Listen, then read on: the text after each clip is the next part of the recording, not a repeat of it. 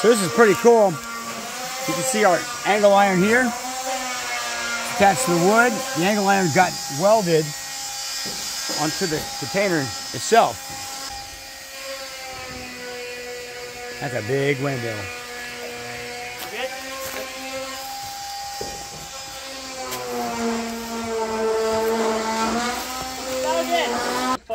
All right, this is turning into a three-man job here. You gotta figure out how to. Alright, lift up.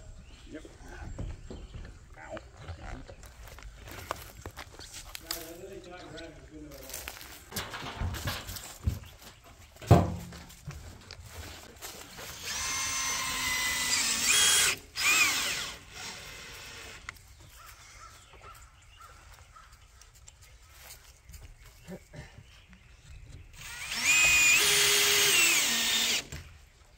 All right, here's the update. Okay, they got these uh, three win- windows trimmed out. Look at that. Looking nice under there. Very nice. I'm gonna throw some caulk in that. And let's take a look at these. Yeah. Looking good. They're gonna prime that and then they're gonna paint it. It's looking good. Now also, let's take a look at this.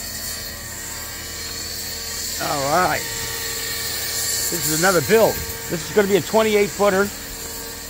And uh, yeah, this is coming along real nice. We're going to make this trailer new again. Okay, let's pop on inside. Okay, walk on in. Uh, this is looking beautiful. This is our shiplap siding. Looking nice. They got trim out them windows. Very nice. All right, if you enjoy our content, hit that subscribe button if you haven't. Leave a comment. It always helps. And uh, hit a like.